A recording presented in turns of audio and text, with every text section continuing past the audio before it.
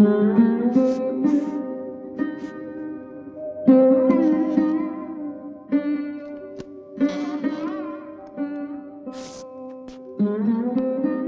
টাকাটা ধরো মা। কিসের টাকা? কাল রাত্রে আমি বেহুশ অবস্থাতে দেখেছিলাম। তুমি তোমার আঙুল থেকে আংটিটা খুলে তুমি না ওকে মা ডেকেছো। হ্যাঁ। তুমি মায়ের ঋণ শোধ করতে চাইছো বাবা। না মানে আমি আমার ছেলের জন্য আংটি বেঁচেছি। ছেলের কাছ থেকে আমি টাকা নিতে পারব না বাবা। আমার অন্যায় হয়ে গেছে মা। তুমি আমায় ক্ষমা করো। বাবা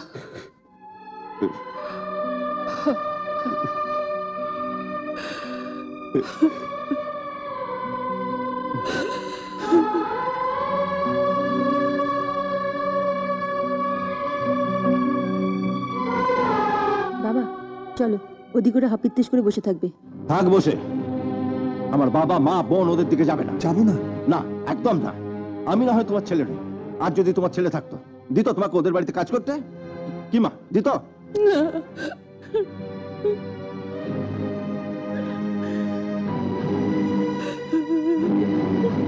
যাই আমি বিজয়বাবুকে বলে আসি কাজের জন্য অন্য লোক দেখতে। সেটা ভালো দেখায় না বাবা। আমরা ওদের বাড়িতে এত বছর কাজ করছি। ওরাও আমাকে বাবার মতো দেখে। না দেখে না। বাবার মতো দেখে না। না বাবা। দেখে। না দেখে না। যদি দেখতো তাহলে ছেলের জন্মদিন অনুষ্ঠান বন্ধ করে তোমাকে একটা শার্ট কিনে দিত মাকে একটা শাড়ি কিনে দিত আর নমিকে ছেঁড়া পোশাকে ঘুরে বেড়াতে হতো না। শোনো বাবা। আমি অনেক দিন এখানে এসেছি। আসার পর থেকে তোমাদের ওই একই ছেঁড়া খোলা কাপড় জামাই দেখছি। এরপরও বলব ওরা তোমায় বাবার চোখে দেখে।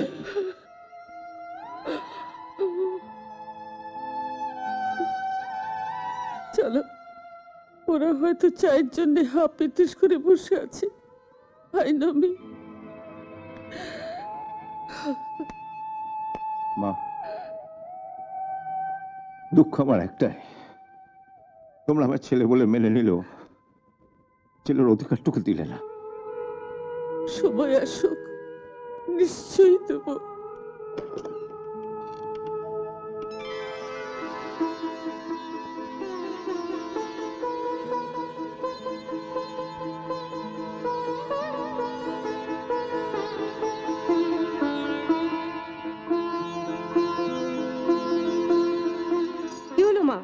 এত দেরি করলেন যে?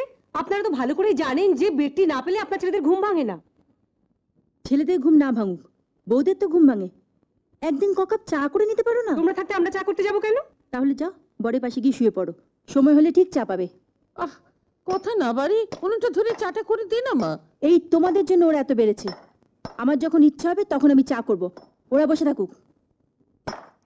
দেরি না করে উনুন ধরিয়ে চা কর। তারপর তো আবার দাদু ভাইকে নিয়ে স্কুলে যেতে হবে। একবার মনে হচ্ছিল রাজীবদাকে সব বলে দিই ওদের সঙ্গে আমাদের কি সম্পর্ক।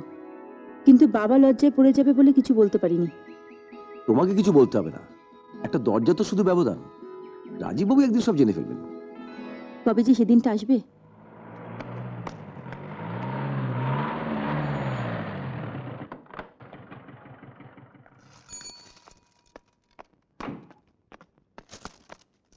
বাবা বাবা দরজাটা খুলুন।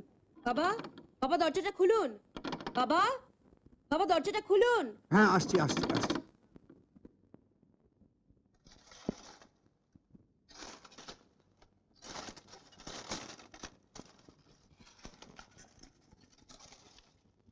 আমি জামাটা পরে নিই তুই খুলে দে।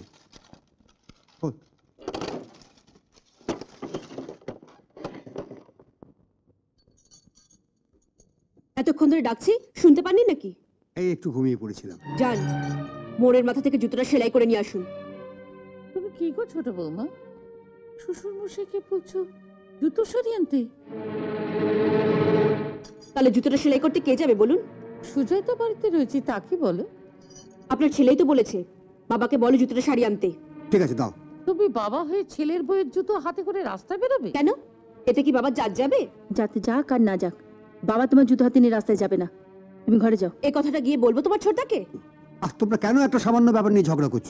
দুবেলা দুমুঠো খেতে দেয় বলে ছেলেরা তোমাকে দিয়ে তাদের বইয়ের জুতো বানাবে কি বাবা আপনি যাবেন? না আমি আপনার ছেলেকে পাঠাবো। না না আমি যাচ্ছি। দাও জুতোটা দাও। দেরি করবেন না আপনি এলে আমরা বেরোবো। বর্দি মেসি রেডি হয়ে আছে।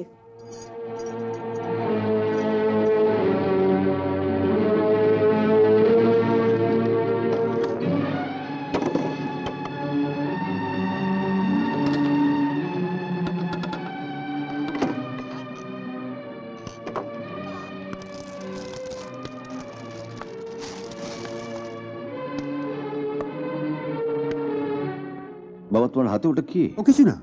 না কিছু তো একটা আছেই হাতে। কি ওটা দেখি। ও বাড়ির ছোট বৌমার জুতো। ছোট বৌমার জুতো তো তোমার হাতে কেন? আমার হাতে মানে এইমাত্র ও বাড়ির ছোট বৌমা জুতো হাতে নিয়ে বেরোচ্ছিল। আমি জিজ্ঞেস করলাম কোথায় যাচ্ছ? ও বললে জুতোটা সারিয়ে আনতে যাচ্ছি। আমি বললাম যে তুমি বাড়ির বউ তুমি জুতো সারাতে যাবে কি? দাও ওটা আমায় দাও। আমি সারিয়ে আনছি। সে তো কিছুতেই দেবে না। আমি জোর করে ওর কাছ থেকে ওটা নিয়ে নিলাম। বললাম আমি তুমি বলো বাবা যাদের বাড়িতে পঁচিশ বছর কাজ করছি আমি থাকতে তাদের বাড়ির ছোট বউ জুতো সারাতে রাস্তায় বেরোবে এটা কি ভালো দেখায় না একদম না। দাও জুতো আমার হাতে। বলছো কি? তোমার হাতে আমি জুতো দেবো? আচ্ছা তুমি বলো মা।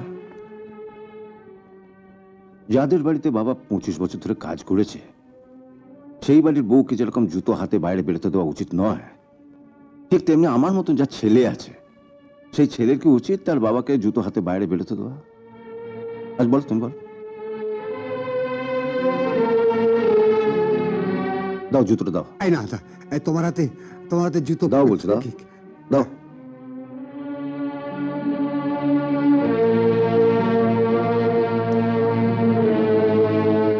নমি এই প্যাকেটে বাবার ধুতি শার্ট আছে আর তোমার আর মার জন্য শাড়ি আর ব্লাউজ আছে। এই জুতোটা শাড়ি এনে যেন দেখি তোমরা এটা পরেছো।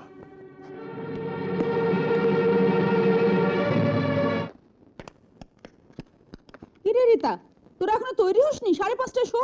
দেখো না বাবাকে কখন জুতোর বেলটা সেলাই করতে পাঠিয়েছি এখনও এলো না।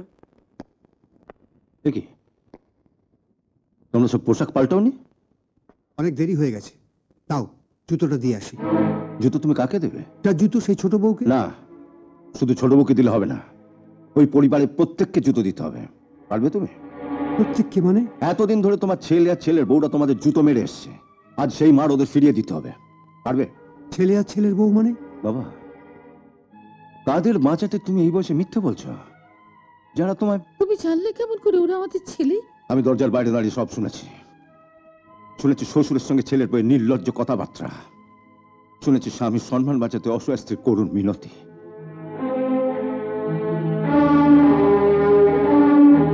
তোমরা যাদের জন্ম দিয়েছ, লেখাপড়া শিখে মানুষ করেছ, তোমাদের সেই তিন সন্তান আজ শয়তান হয়ে গেছে।